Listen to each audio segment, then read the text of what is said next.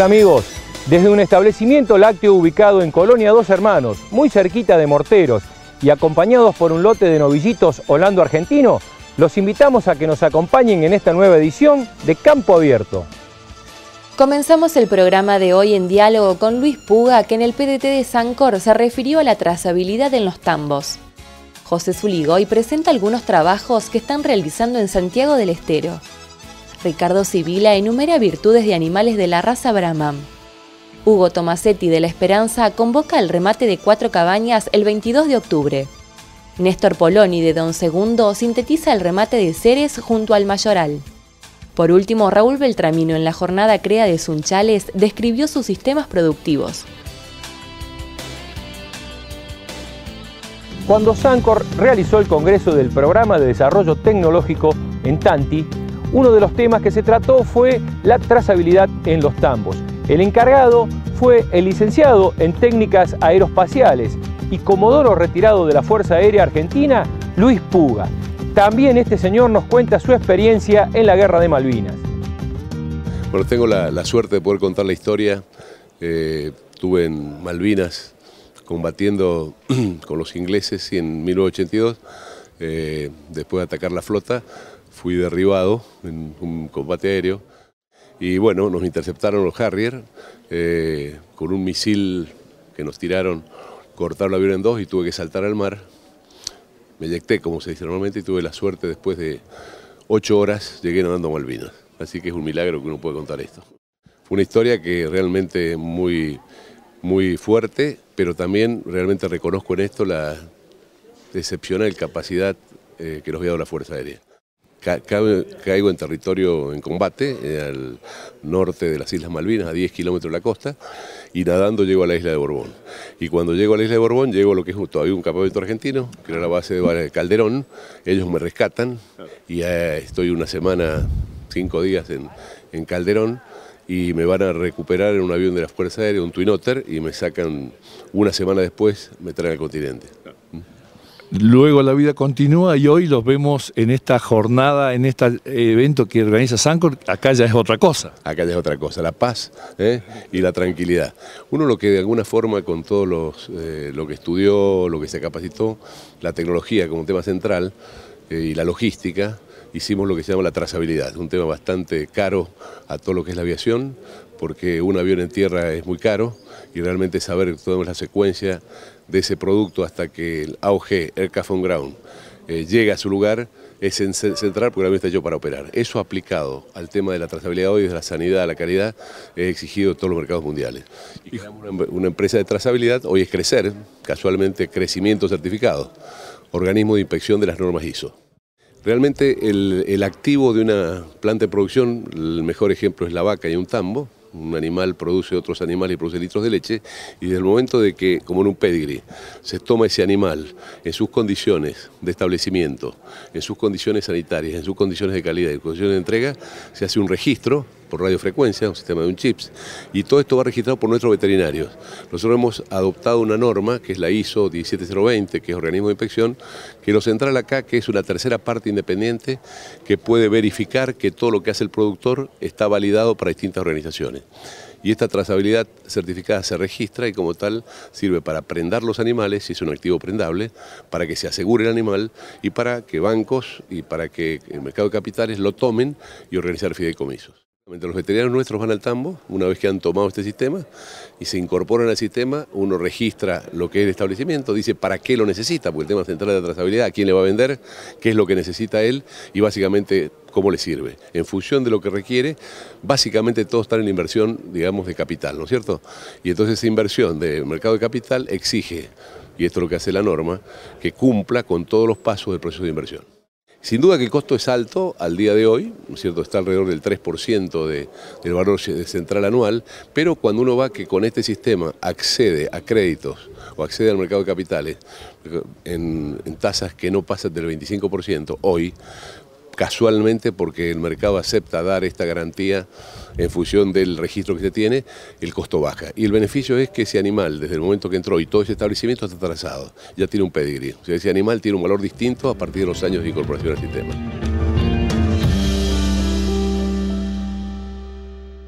Dialogamos ahora con el señor José Zuligoy, que nos habla, entre otros temas, sobre un importante trabajo que está realizando en la provincia de Santiago del Estero. Estamos en la Expo de Bandera, eh, contento porque creo que va a ser un poco más chica que otros años, pero eh, está bien armadita, la gente está un poco entusiasmada, así que eh, creo que algo vamos a seguir haciendo. José, recién hablábamos que una trayectoria en trabajos, ¿no? Muchos años. Eh, sí, acá en esta zona desde el año 95, así que ya creo que son, y estamos próximos, la fábrica está ya cuando llega octubre eh, en los 36 años, así que creo que tenemos alguna carrerita hecha por ahí. Muchos tinglados justamente dando vuelta en esta zona santiagueña también, ¿no? Sí, sí, en esta zona, en Corriente, ahí en la parte del Chaco también, eh, Formosa, que es el, fuerte nuestro. Eh, Santiago es un, fuerte, eh, casi diría demasiado. Así que un año que creíamos que iba a ser un poco atípico y sin embargo estamos con prácticamente sobrante de trabajo. José, justamente hemos visto que están encarando galpones, unas obras muy importantes aquí en la provincia de Santiago del Estero. Eh, sí, se, nos dio un negocio importante eh, a una firma que está haciendo algo que, bueno, eh, creo que va a andar bien. Y, bueno, tuve la suerte de que haya sido electo por ellos para tal seis meses de trabajo no son, no son pocos. Exacto.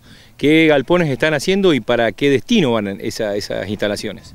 Esas instalaciones van para depósito de alfalfa, un señor que está produciendo muy mucha alfalfa, eh, nuevo, se está expandiendo, yo creo que ya está, no sé si próximo ya ha exportado algo, así que creo que es importante eh, el número que está haciendo. ¿Y ustedes qué servicio le dieron ahí? ¿Qué galpones construyeron? Hicimos en realidad cinco galpones dimensionados bastante importantes, eh, todavía faltan algunos de terminar, pero eh, creo que una cifra importante más para la, época y la zona que está. ¿Qué clase de estructura tienen estos galpones? Tienen una estructura convencional, son galpones parabólicos nomás, con un poco de ventilación para el tema del acumulamiento de temperatura de, de los fardos, pero son estructuras comunes reticuladas. Amigos, en instantes regresamos con la segunda parte del programa de hoy. Fábrica de estructuras metálicas Zuligoy. Servicio de grúas y carretón para transporte. Zuligoy, con años de experiencia y tecnología de avanzada. Silos Marisa, con experiencia, calidad y diseño. Proyecta y construye plantas de silos a su medida o llave en mano.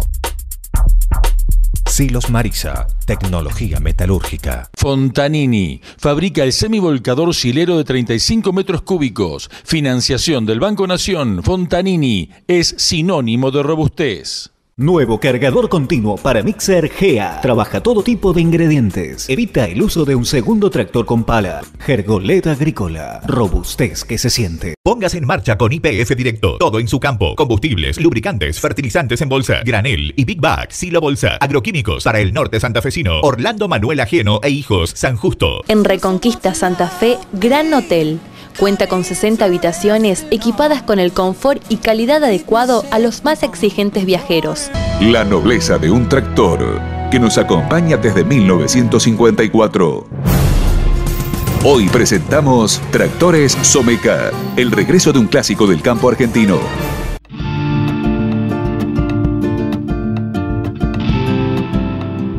El médico veterinario Ricardo Sibila comenta algunas virtudes de los animales de la raza Brahman. Eh, lo primero que se busca es la calidad racial, que el animal que uno está inspeccionando responda a las características fenotípicas de la raza que ya están establecidas, ¿no? Y segundo, bueno, que no tenga defectos. ¿Cuáles son esos defectos a veces para que el productor que tiene que incorporar esa sangre tenga cuidado? Y nosotros creemos, por ejemplo, alguna falla en la pigmentación, el animal un poco más pálido. a lo mejor con no tan buena estructura, por ahí a lo mejor el, color que no le gusta a alguien o que tenga a lo mejor un poco, un poco de, el cogote un poco más corto, en fin. Pero lo que queremos es que el macho mantenga las características masculinas, que no se desvíe, que no sea algo fofo o intermedio, que la hembra sea femenina, eh, que no sea tosca. La edad en que se, inspeccionan los animales no es la más favorable para verlo al animal en, su plenitud, ¿no es cierto? Esta raza es una raza eh, como todas las que tienen componente cebuino, son más, más lerdas para madurar, porque el, el tiene esa característica, es más, es más lento en todo pero tarda en, revelarse completamente. La edad en que se inspecciona es eh, el año y medio, y en esa edad el animal es como el adolescente, con las piernas largas, este, falto de músculo, pero la calidad ya se ve. Entonces nosotros tratamos de que esa calidad se vea y se este, manifieste, esté, esté presente en el animal. Después, bueno, si es mejor porque tiene más musculatura, eso es distinto, ¿no? Eso es otra cosa. El Brahman lo que hace es una raza sintética dentro de las cebuinas. Usted lo que va a tener ahí es un 99% de genes cebuinos, Brahman. Es decir, la, la, raza se hizo hace unos 150 años más o menos en Estados Unidos eh, con un aporte de varias razas y todo eso, esa conjunción eh, hizo que los genetistas que en ese momento estaban trabajando, eh, principalmente la familia Hutchins, eligieran eh, animales más carniceros. Entonces se logró un animal cebuino de mayor producción de carne y de mayor este, resistencia. No se olvide que las razas esas originarias eran muy resistentes, pero no como productoras de carne eran más o menos eh, no tan buenas. Entonces se le dio énfasis a la producción de carne manteniendo las características este, cebuinas.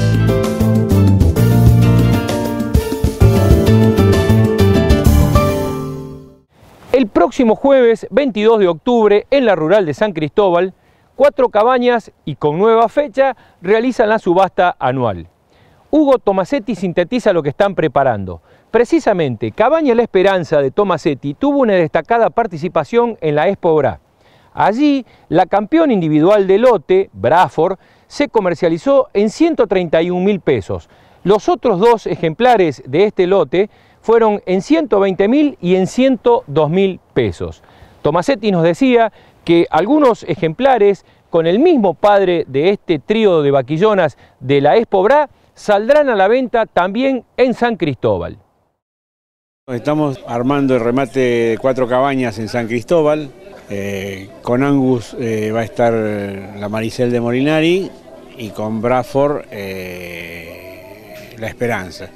Vamos a contar con tres cabañas invitadas, que son la cabaña de Sanuti, la cabaña de Macaño y la de Unity, que concurren ya a partir del año pasado, son asiduos concurrentes al remate.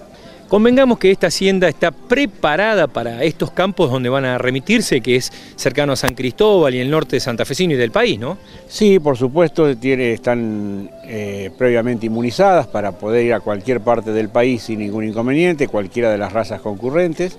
Son animales criados totalmente a campo, con los cuales por lo menos en 25 años que andamos en el tema, nunca hemos tenido problema de adaptación de los ejemplares a distintas zonas del país. Hugo, ¿qué cantidad de hacienda ponen a la venta?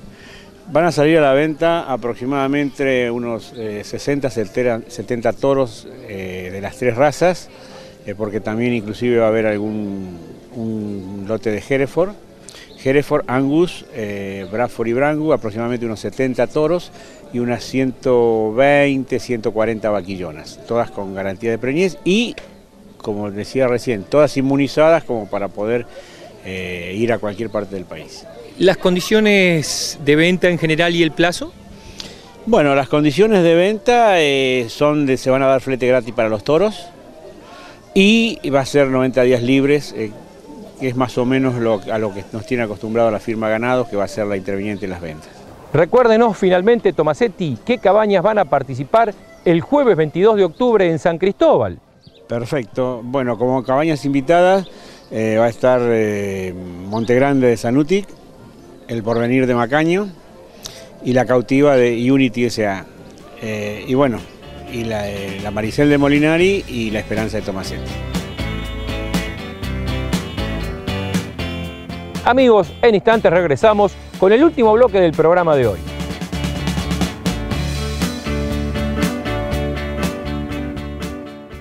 Nueva fecha del remate de cuatro cabañas en la rural de San Cristóbal. Será el próximo jueves 22 de octubre, con Hacienda Brasford, Brangus, Angus y Hereford. Flete gratis.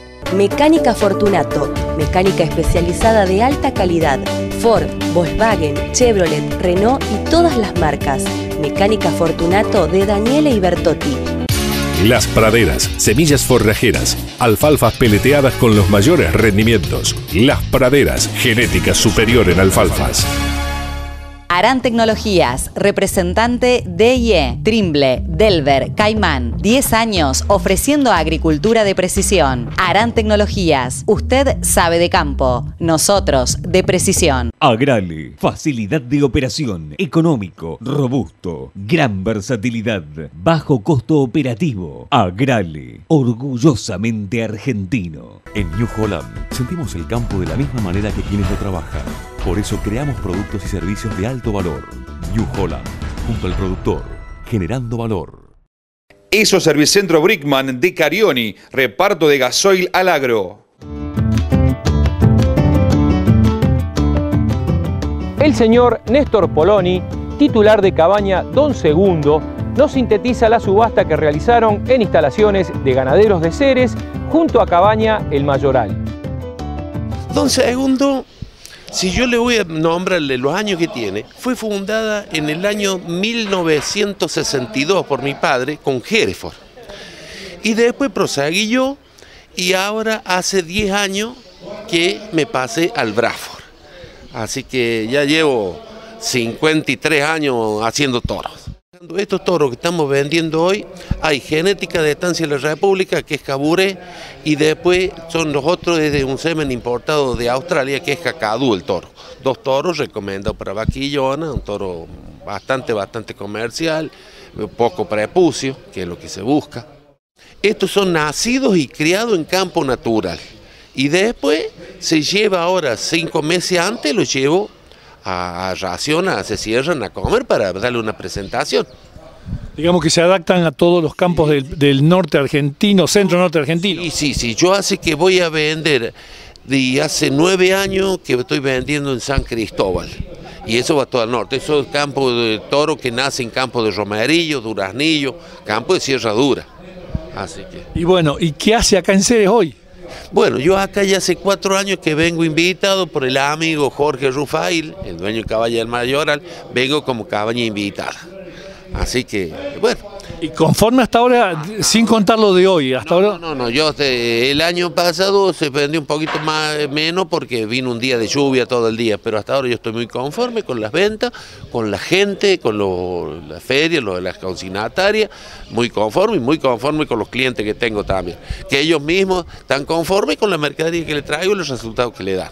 Exacto, ¿qué se, está, ¿qué se está vendiendo hasta ahora? ¿Qué precios ha obtenido? El máximo que yo hice hasta ahora fueron 36 mil pesos. Ah, buen precio. Sí, y un promedio de 28 mil 500 hice con 18 toros que traje. La gente está interesada en cobrar, comprar. No habrá mejores valores porque la situación no sabemos cómo estamos todos. Pero la gente está interesada en seguir con la cría y se ve porque usted ve el interés que hay de para comprar. Hay muchas manos, muchas manos.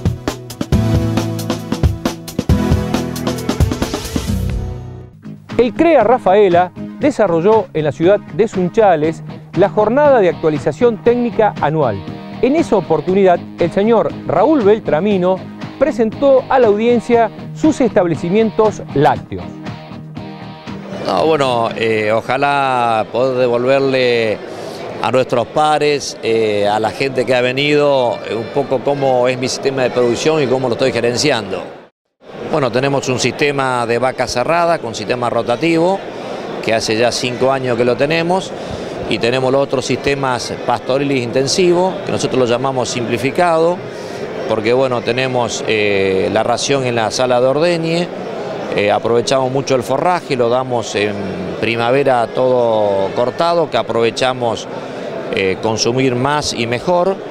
Y, y, mantenemos un solo lote, donde bueno, es bastante simple y muy amigable para, para nuestra gente que trabaja en los tambos.